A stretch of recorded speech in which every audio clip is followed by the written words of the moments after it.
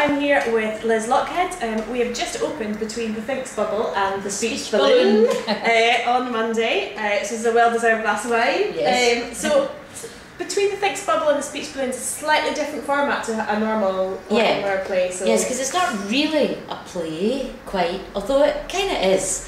Um, it's a it's a portmanteau piece. Uh, one of the the actors said that. You know these things that have got an overarching story. It's a very simple story. Mhm. It's a, a guy who uh, is on a creative writing course and he doesn't think he can do it. And then is he deciding can he do it or not?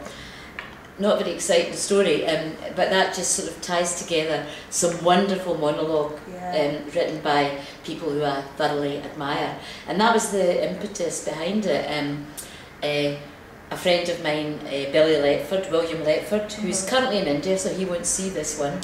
Um, I saw him do a wonderful monologue called Thomas. He called it a story, it's in the voice of this guy, this you know strange guy at a bus stop, a strange, wonderful, innocent, an innocent. yeah. Not a daft exactly, but a complete innocent Yeah. at a bus stop. I love that voice.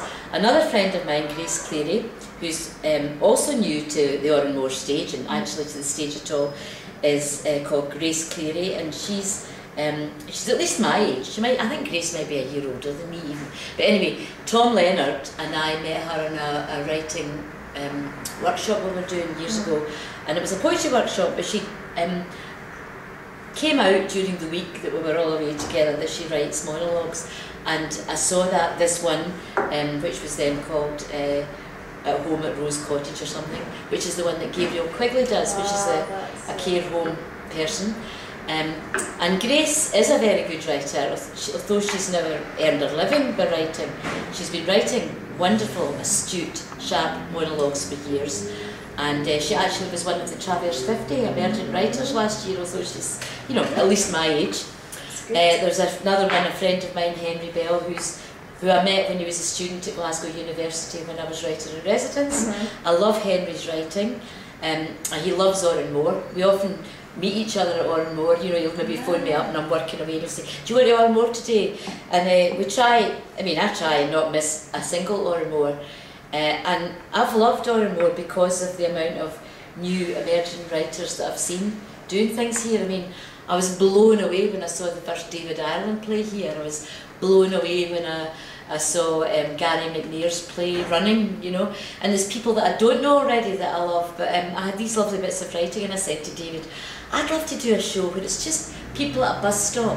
And at a bus stop, we don't know what's going on inside the heads of the people around us. And if you could just take a wee, you know, wave a wee magic wand and let them speak out what's driving them. And then I had the problem, and it was a terrifying problem, of making it into a single show, which I think we have Yeah. via the team.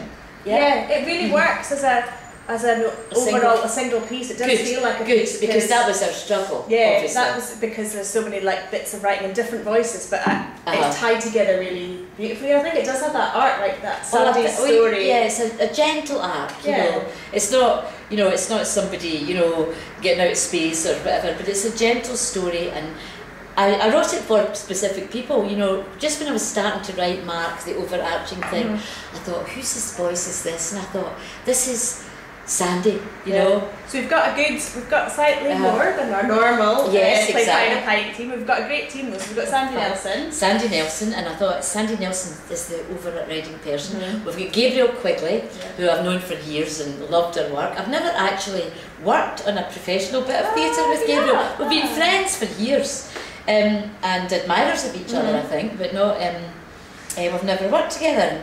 I mean, she's just fantastic at um, playing somebody much older than herself. That's the thing. I didn't cast the actors particularly um, as those characters, but you know, it was, it was, it was yeah. type. It was it was about because they play other voices in the thing as well, but they've all got a main character that they play. The different people that are in it. There's Mark and there's Molly. Uh, and I wrote Molly, this character who's got two monologues, one short, one at the bus stop, and one later that finishes the show. Well, if you're going to be the boss, you'll give yourself a talk million, you know. anyway, it's been it's been lovely fun. Yeah. And uh, I was two weeks ago today, Susie. I was in a state of complete abject terror because I knew I had um, a wonderful Tom Leonard material that ties it together in ways that are kind of to do with your dream, your inside dream. But this person that Mark, that Sandy plays, is Tom Leonard, uh, you know, kind of wow, aficionado. He's just found the book and he thinks this is changing his life, as it changed the lives of me and many people who have heard it. So yeah. there's a lot of me in Sandy, you know. Uh, and then there's a lot, and Sandy is a writer himself, and that's why I wanted Sandy to play the part, you know. Yeah, yeah. And uh, it just was great. And I, I, all I knew about Harry Ward, I'd seen him once again in Oran Mor, mm-hmm. and I thought he's a fantastic actor. And I didn't know him at all as a person. I didn't know what a wonderful company member yes, he is, as well. Yeah, I've worked with Harry a lot. He is a good, right. really good company member. Yeah. I, th- I thought he'd be a good guy, mm. but I didn't know. Yeah. And he didn't know me, and it was that's the thing. It's the amount of trust that they put in it because the script that they started off with their individual monologues, they could tell there was jewels in it, but there was too much wonderful stuff. Mm-hmm. We had to find a way of making a, a, a, gentle shape to allow these jewels to come out. It's a bit like I've got some wonderful gemstones in these monologues, and I had to find just a simple filigree setting yeah, for them. Nice that's the way yeah. I thought about it, and um, it's it's been like Gabe and um,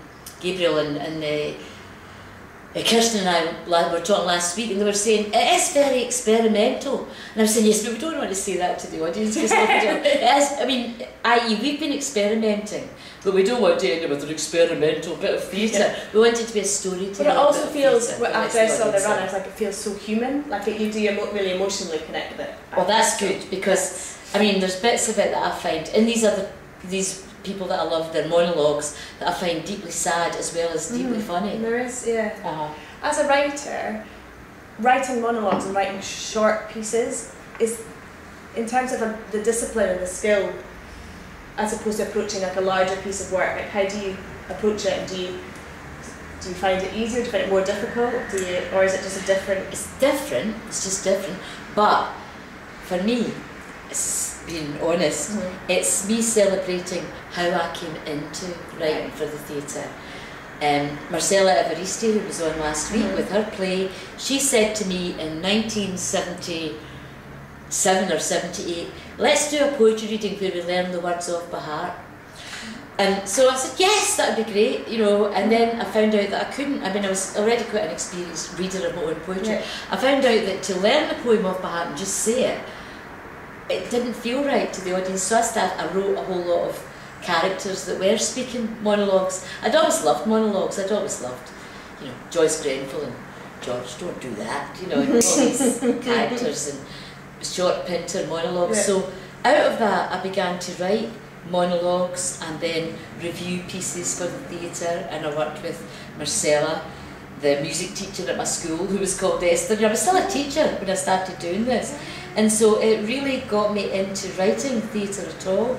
I think the first thing time I remember meeting David MacLennan was after I did a second revue called Sugar and Spite. Uh, the first one was called Sugar and Spite, that was Marcella's title. The next one was just True Confessions, and it was Siobhan Redmond and I. And Siobhan had just finished university. She was just about to go to drama school, and she came along and we did this wee show in the bar of the Tron, and we got 60 quid between the two of us for um, doing three evening shows in the week and two lunchtimes. but we did it anyway. it was in the Tron bar. But David MacLennan came along and said, this stuff's really lovely, would you like to write some Wildcat? So I remember writing stuff along with Tom Leonard for a bunch of fives. You know, so um, then many of my friends in the theatre came about that and then at exactly that time, after doing that, I, I began write. I wrote my very first full-length play, which was called Blood and Ice, and uh, it was about Mary Shelley, Byron, uh, Frankenstein, and so on. Mhm. And uh, of the first version of it, which thank goodness was on down in Birmingham where I didn't know anybody, the Birmingham Evening Post said they would rather be at the dentist. And they also said that, that I knew Ms. Lochhead, for all her knows nothing about the construction of the drama. And after I was able to get out of my bed and pull the down dewy over my head and get out, I thought, neither I did, but I do now. Mm. And I started again, and um, uh, I'm trying. I've written a play that I've written two plays that are going to be on this year. A couple of years ago, I wrote a play about Edwin Morgan. Like this, a very simple play, a wee three-hander, um, which embedded poetry as Mm. part of the story. So that was a thing for this, and also my um, only hit play, the only one that earned, me any money, which is called um, uh, Perfect Days. Uh, it's going to be on at Pitlochry this summer, Oh, so I'm currently rewriting that, and I'm also writing, would you believe, a monologue for the National Theatre of Scotland. Thank you, Moore, for giving us this chance. I mean, only here could you say, I don't really know what I'm doing, but I want to do it. I feel very trusted, and um, I Well- hope it's not let down the trust. We've wanted to do this for ages and we've been delighted, so thank you so much. Thank you very much. Right. Thanks, Susie. Cheers. Thanks for everything.